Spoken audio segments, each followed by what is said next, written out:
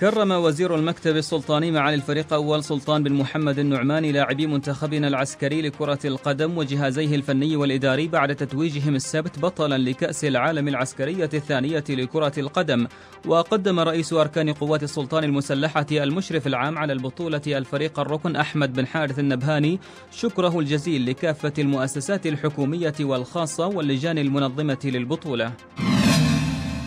طيران السلام بدأ الاثنين بتشغيل رحلاته الداخلية بين مسقط وصلالة بعد أن دشن يوم الأحد أولى طائراته تحت اسم سمهرم فيما أكد رئيس مجلس إدارته المهندس خالد بن هلال اليحمدي في تصريح للشبيبة أن التذاكر في طيران السلام من مسقط إلى المملكة العربية السعودية ستكون أقل من خمسين ريالا عمانيا. أسعار الوقود في السلطنة لشهر فبراير الجاري تشهد ارتفاعا بواقع عشر بيسات للتر الواحد مقارنة بيناير الفائت إذ بلغ سعر اللتر من بنزين 95 196 بيسة وبنزين 91 186 بيسة. أما الديزل فقد شهد ارتفاعا غير مسبوق متخطيا عتبة المئتي بيسة ليحدد سعره ب 205 بيسات.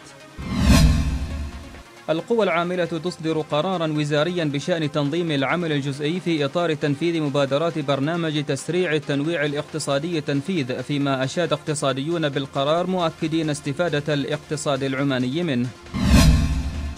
ضمن فعاليات مهرجان مسقط وبمشاركة أكثر من أربعين متسابقا من 12 بلدا تتواصل بساحة الاستعراض بالجمعية العمانية للسيارات فعاليات بطولة الأمم للإنجراف. التي تعد الحدث الأكبر لرياضة الإنجراف على مستوى العالم.